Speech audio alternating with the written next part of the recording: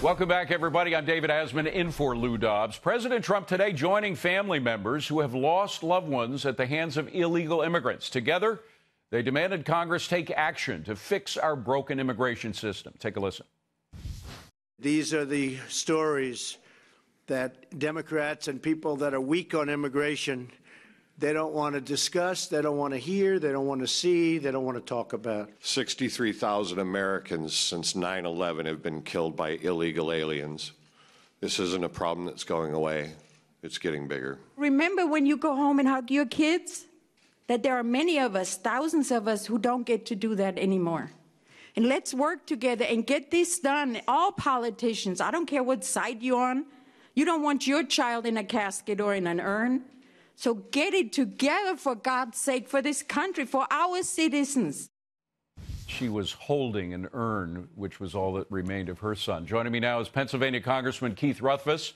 He serves on the House Judiciary Committee and the House Committee on Financial Services. Congressman, this is one of the most powerful meetings at the White House I have ever seen. There was nothing fake at all about this. I'm, I'm wondering what you thought about it.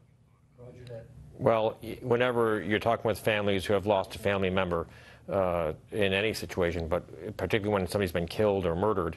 And then you look at the situation that led to that murder and find out that there was an illegal alien involved. Uh, you start asking a lot of questions, or that family can start asking a lot of questions. How did that person get here? How did that person stay here? Uh, particularly, some of these folks ha- do have records. Uh, look, we have to fix our immigration system. We have to fix our border. We have to secure the border. That has been an issue for not just one year or two years, That's but right. for a very long time. Uh, we have a proposal that we voted on yesterday. Unfortunately, came up short. Not a single Democrat voted for that bill that would have secured the border and provided a legal status for uh, certain DACA recipients, or for all the DACA recipients, that is. Uh, so, again, it is past time to secure this border. We are going to continue to do this until we get the job done. The president campaigned on this. This is a big issue. The people want that border secured. And it's you know it's it's also not just important for the safety of Americans of people who live here now. It's important for the safety of a lot of those illegal immigrants, particularly the children, uh, thousands of whom, tens of thousands of whom, are sent across the border alone. I mean, completely susceptible. Uh, to the worst kind of, of criminal predators, uh, those coyotes who who prey particularly on the young on the young girls.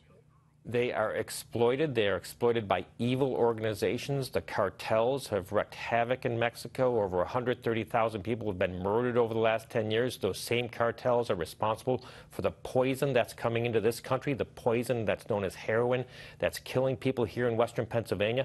That's another reason we have to secure that border. The bill that we voted on yesterday would dr dramatically increase resources to make sure the ports of entry along the southern border, those places where the cars are coming in, that we have more people on Yeah. that, that, that can be doing the inspections, more equipment to be doing the inspections. We should be inspecting every single vehicle coming into this country because that's where the poison is coming in. And if that's not a reason for somebody to step up and vote, yes, I'm going to secure that border, I think the Democrats, frankly, have a lot of explaining to do. Why they want to Well, have an open, porous frankly, border. Congressman, it's not just the Democrats. Some Republicans have a lot of explaining to do as well because you guys did put together the Freedom Caucus put together a a, a bill that that.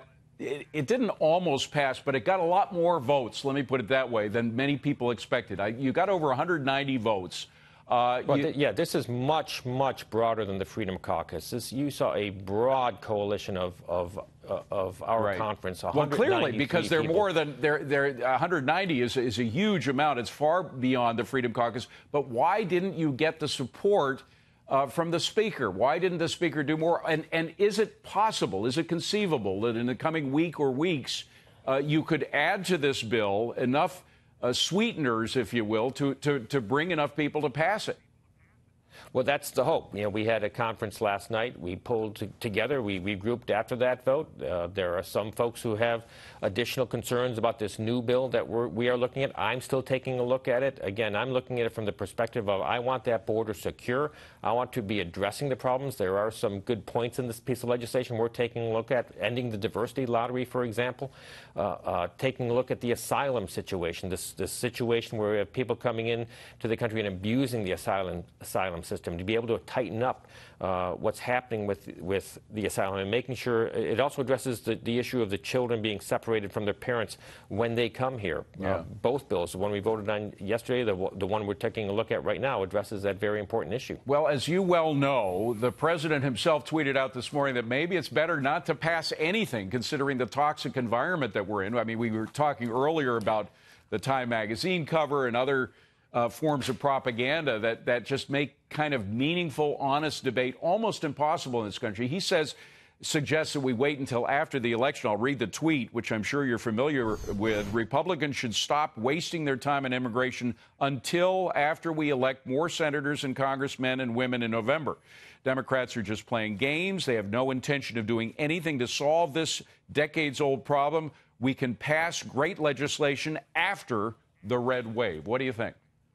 Every day that that border remains open is another day that the poison that's killing people in western Pennsylvania can come in. It's not acceptable. You know, I was talking with one of my colleagues from across the aisle yesterday, and I'm not going to say who it was, but expressing frustration with the division in Washington, D.C. generally. And it's unfortunate that you, could, you can't have Democrats coming to vote on a, a significant piece of legislation. Uh, uh, this has not always been the case. Uh, you, you, take a look at the Reagan economic recovery. We had broad Democrat support. Yeah. Uh, when you're when you're moving major pieces of legislation, it would be very helpful if if some uh, on the other side of the aisle would just stay, step back, take a look, and see the good that was in that bill. You know, they uh, have a, an expression that nothing concentrates the mind, and I won't say the end of the original one, but in this case, I would say then a, an election defeat and if, in fact, there's no blue wave in November, if, in fact, the Democrats are defeated significantly in November, that might bring them to the table more than they would be likely to do so now. Quick last word. Go well, ahead. You, you, think, you think they might have learned in 2016 with the stunning upset victory you of think. President Trump. And you, you have the coastal elites totally missing what's going on in the interior yeah. part of the country. Uh, um, and, and, this ties into so many different issues, including what we're doing right now, taking a look at how the FBI conducted the Clinton email That's investigation right. and, and, the current investigation. When you have a guy like Peter Strzok talking about Trump voters that he can smell them at a Walmart in Virginia, the kind of contempt that these elites have for everyday yeah. Americans is really shocking.